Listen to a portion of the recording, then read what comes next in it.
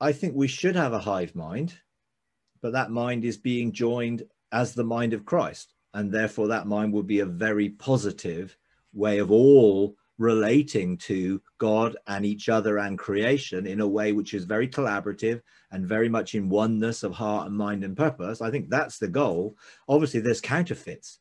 So the counterfeit will deceive people into various conformations.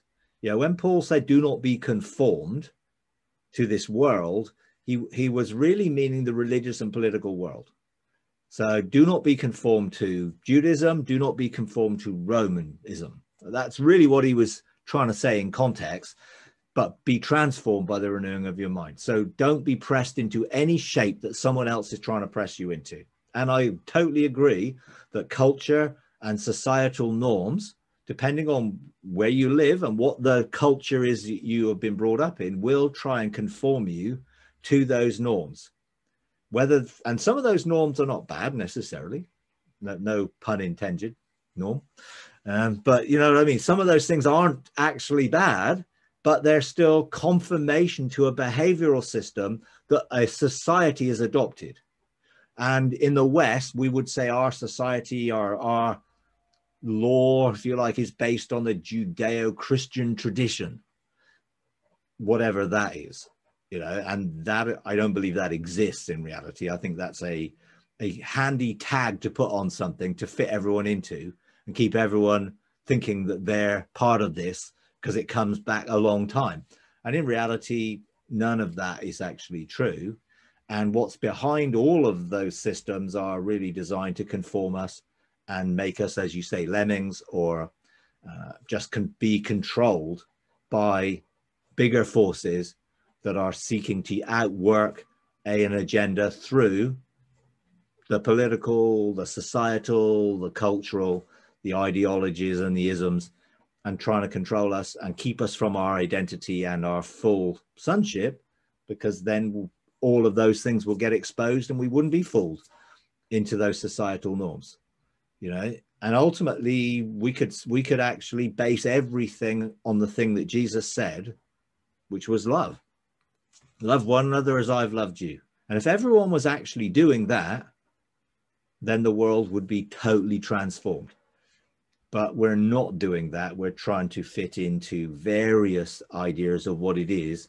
And if you were brought up in Russia, you would have a very different life from being brought up in Canada. If you're brought up in China, you'd have a very different life than being brought up in Canada. So you have, depending on where you were born, if you were born in Iraq or whatever, Syria, I mean, you know, it's it's quite it's a bit like a postcode lottery in one sense, you could say.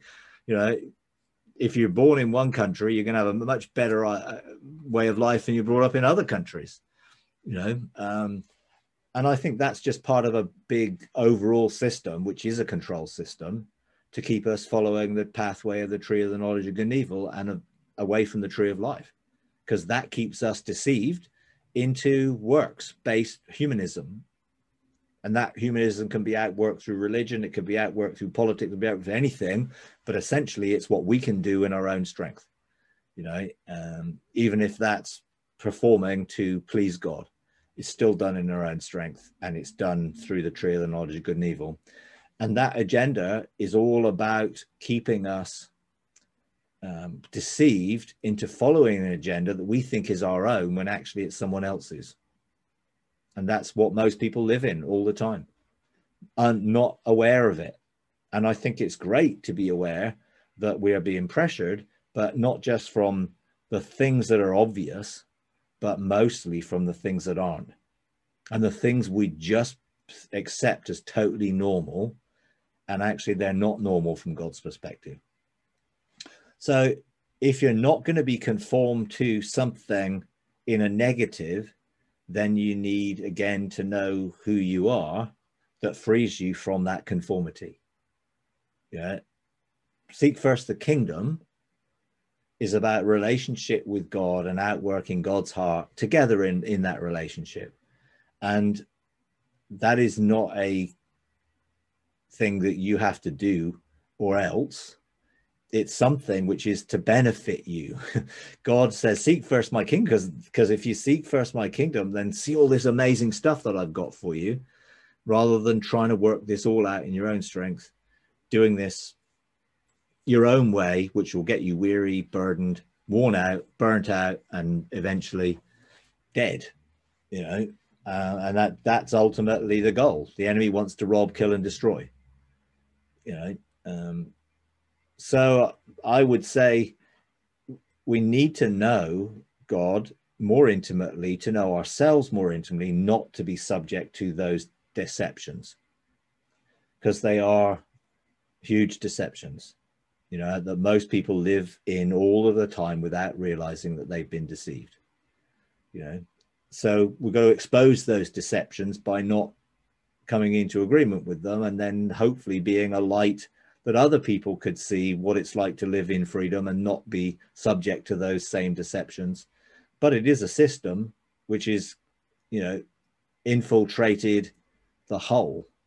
You know, Jesus warned against the infiltration of the political spirit, religious spirit, and all of the tree of the knowledge and good and evil system is completely based on a religious and political spirit. You know that that's how it functions.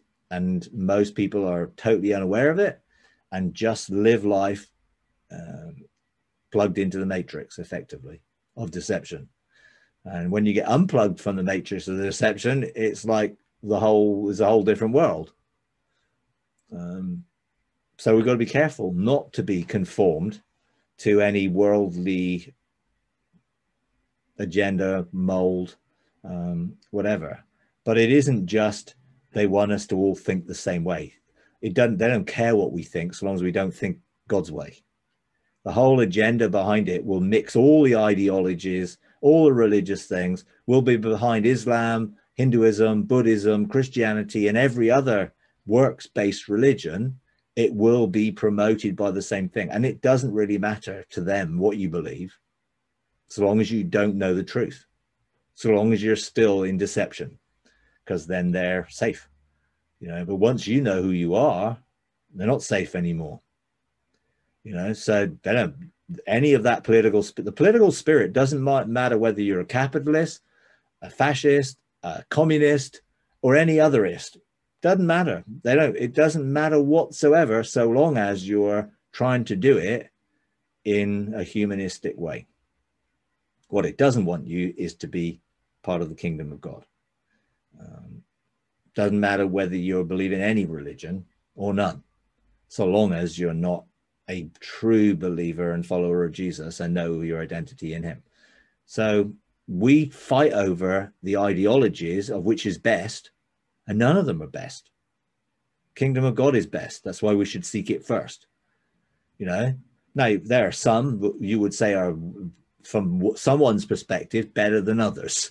You know, but from others, they would say the opposite, you know? So, really, we shouldn't really be looking at any of the different options that are out there on the menu of religious and political spirit stuff. We should be seeking a different menu, you know? Um, otherwise, we just go round and round in circles um, on a different deception and a different deception and a different deception rather than realizing what the deception is all about and therefore being free from it. Uh, but it's done a very, very good job in infiltrating the whole of the world's culture and societies, and they're all functioning from the tree of the knowledge of good and evil.